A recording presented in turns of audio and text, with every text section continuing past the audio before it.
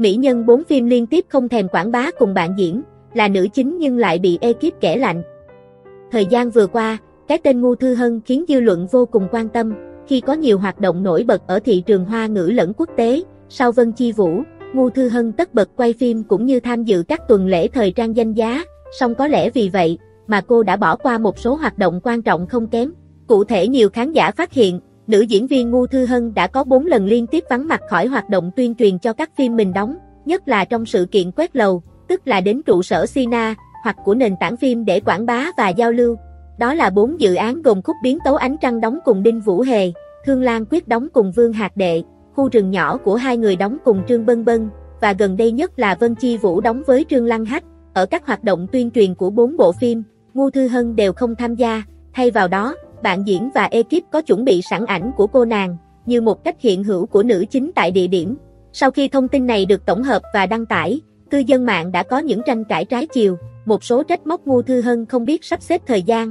thậm chí chê bai thái độ của cô, khi không thèm đến dự buổi tuyên truyền. Tuy vậy, một số khán giả khác lại bên vực, khẳng định vì lịch trình quá bận rộn nên Ngu Thư Hân không thể có mặt. Ví dụ như khi khúc biến tấu ánh trăng tổ chức tuyên truyền, thì Ngu Thư Hân đang kẹt quay Thương Lan Quyết, còn khi Thương Lan Quyết tuyên truyền thì nữ diễn viên bận quay Tiên Kiếm 6. Ngoài ra, sự kiện của đoàn phim Vân Chi Vũ còn khiến khán giả vô cùng bất bình. Hoạt động tuyên truyền của Vân Chi Vũ diễn ra vô cùng bất ngờ, như cách phim lên sóng nhảy dù bất chợt, khiến phía Ngô Thư Hân không kịp trở tay. Gần đây, cô nàng còn có hoạt động lớn tại chuỗi sự kiện Milan phá sân uyết, tuyệt nhiên không thể có mặt tại fan meeting của đoàn phim, khán giả bình luận.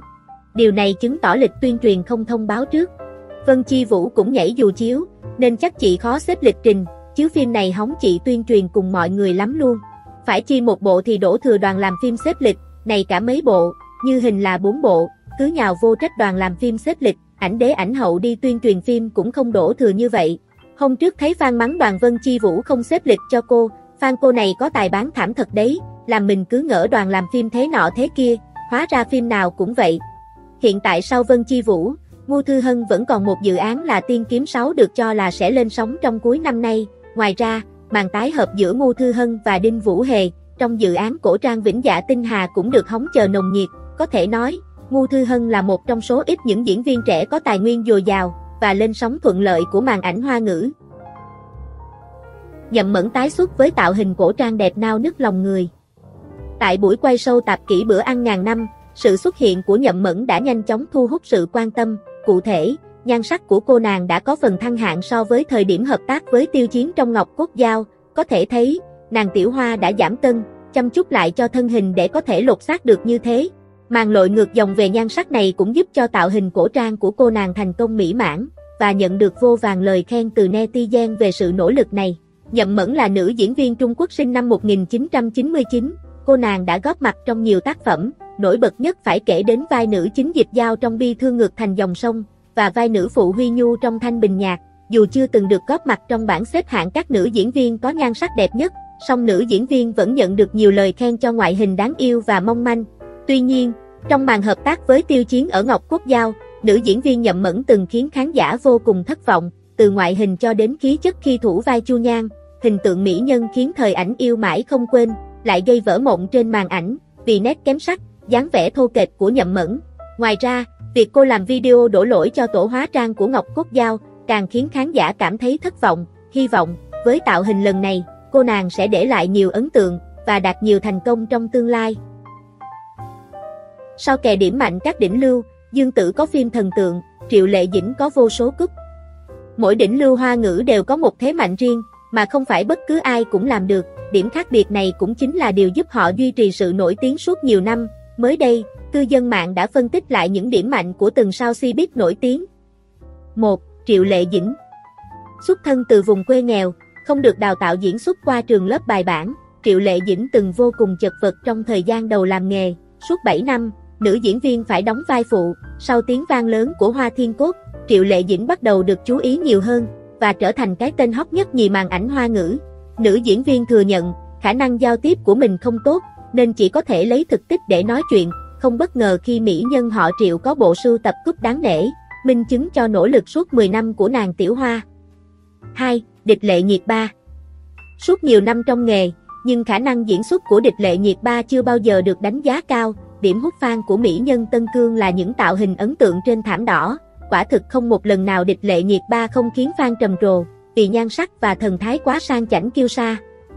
3. Dương Mịch là người có EQ cao, Dương Mịch vô cùng nổi bật trong các chương trình giải trí, nữ diễn viên ghi dấu ấn mạnh mẽ trong lòng khán giả vì sự thông minh, khả năng ứng biến nhanh và rất hoạt ngôn, có thể nói, các sâu tạp kỹ đã giúp Dương Mịch thu về lượng lớn người hâm mộ. 4. Dương Tử Dương Tử là số ít nữ diễn viên trẻ có thực lực diễn xuất và khả năng gánh phim cực tốt, bất kể thể loại cổ trang hay hiện đại. Loạt phim hot liên tiếp nhiều năm của Dương Tử phải kể đến như Hương mật tựa khói sương, Cá mực hầm mật, Trầm vụng hương phai, Trường Tương Tư. 5. Vương Nhất Bác Sau thành công của Trần Tình Lệnh, Vương Nhất Bác có tài nguyên phim ảnh lẫn thời trang xếp vào loại khủng, nam diễn viên liên tục góp mặt trong loạt phim điện ảnh tiền tỷ của đạo diễn nổi tiếng, dù khả năng diễn xuất ý ẹ, các lời mời tham gia chương trình, quảng cáo, đến không xuể. 6. Thành Nghị Điểm nổi bật nhất của Thành Nghị là khả năng diễn xuất ổn định trong dàn nam thần hoa ngữ, từng chỉ được đóng vai phụ suốt nhiều năm, Thành Nghị từng bước khẳng định năng lực của bản thân và bùng nổ với Liên Hoa lâu vào hè năm nay, nam diễn viên chọn con đường võ hiệp cổ trang, thay vì ngôn tình cổ trang đã quá nhàm chán, Bảo Hòa. Bạch Lộc lập thành tích khủng, Triệu Lệ Dĩnh và Triệu Lộ Tư còn phải học hỏi thêm. Sau một mùa hè đầy sôi nổi, màn ảnh hoa ngữ hiện tại có phần trầm lắng đi không ít, giờ đây, dân tình đều đang ngóng chờ những dự án trọng điểm, cấp S, cấp S cộng, sớm ngày ra mắt để tiếp tục làm nóng đường đua, nhất là khi nhiều dự án của các đỉnh lưu, lưu lượng, đang rục rịch lên kế hoạch phát hành, ví như Hồ Yêu Tiểu Hồng Nương của Dương Mịch và Cung Tuấn, Giữ Phượng Hành của Triệu Lệ Dĩnh và Lâm Canh Tân. Cũng từ đây, một bản tổng hợp số liệu thống kê những bộ phim có số lượng đặt chỗ trước nhiều nhất đã chính thức xuất hiện, kết quả phía sau chắc chắn sẽ khiến netizen không giấu nổi sự bất ngờ, khi dự án được mong chờ nhất, lại chẳng phải Hồ Yêu Tiểu Hồng Nương, Giữ Phượng Hành của dàn sao đỉnh lưu, Thần ẩn của Triệu Lộ Tư, hay Khánh Dư Niên 2, mà lại là Ninh An Như Mộng do Bạch Lộc và Trương Lăng Hách chủ diễn, tính đến ngày 29 tháng 9, số lượng đặt trước của Ninh An Như Mộng đã vượt quá 6.71 triệu, vốn dĩ, đoàn làm phim đã có dự định lên sóng vào giữa tháng 5, nhưng có thể vì vấn đề kỹ thuật như đoàn làm phim thông báo, hoặc do ảnh hưởng bởi ồn ào của nam phụ Châu Tuấn Vĩ, nên Ninh An Như Mộng vẫn mãi chưa thể tìm được ngày ra mắt khán giả thích hợp. Ninh An Như Mộng có cách khai thác gần giống trường tương tư, nữ chính Khương Tuyết Ninh vướng phải mối quan hệ tay ba tay tư đầy phức tạp với ba nam nhân gồm Tạ Nguy, Trương Già, Yến Lâm. Phim được chuyển thể từ cuốn tiểu thuyết Khôn Ninh của tác giả thời kính, kể về cuộc đời nữ chính Khương Tuyết Ninh, một nữ nhân bất chấp tất cả, không từ mọi thủ đoạn để lên ngôi hoàng hậu, nhưng sau cùng lại bị ép tự sát, vì có hành vi sai trái, có cơ hội làm lại một lần nữa, Khương Tuyết Ninh quyết định chừa cho chính mình một đường lui, sửa chữa lại lầm lỗi quá khứ. Hé lộ lý do Triệu Lệ Dĩnh ly hôn, không đơn giản chỉ là mâu thuẫn với mẹ chồng.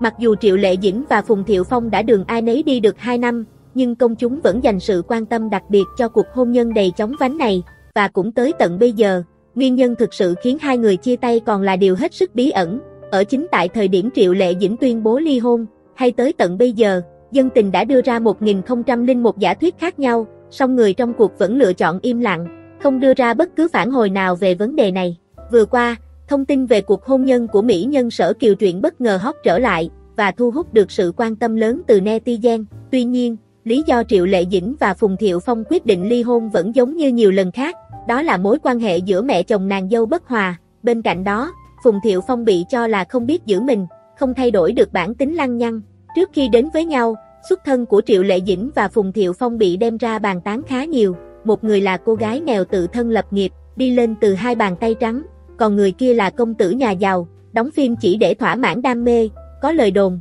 mẹ ruột Phùng Thiệu Phong cho rằng, Triệu Lệ Dĩnh không xứng với con trai mình, môn không đăng hộ không đối, hoàn toàn là thái độ thiếu hài lòng. Về phía Phùng Thiệu Phong, Trước khi đi tới hôn nhân với ngôi sao Minh Lan truyện, lịch sử tình trường của anh có thể khiến cư dân mạng cảm thán, bởi hội người yêu cũ của Phùng Thiệu Phong đều là cực phẩm, ví như Nghê Ni, Lâm Duẩn, hậu ly hôn, Triệu Lệ Dĩnh dùng mọi tâm huyết để làm nghệ thuật, từng bước đứng vững trong làng giải trí hoa ngữ, trong khi đó, Phùng Thiệu Phong lại có phần bỏ bê sự nghiệp, nam diễn viên vừa mới tái xuất màn ảnh nhỏ cách đây không lâu, với dự án trước trước phong lưu, hợp tác cùng cảnh điềm, tuy vậy, hiệu quả phim chiếu tương đối kém nhiệt, Video đến đây là hết, hãy cho chúng tôi biết ý kiến của bạn về vấn đề trên bên dưới phần bình luận. Cảm ơn các bạn đã theo dõi video của kênh Chuyến Tàu Bát Quái. Nếu thấy hay và hấp dẫn, các bạn hãy bấm đăng ký và chuông thông báo để nhận những video mới nhất nhé.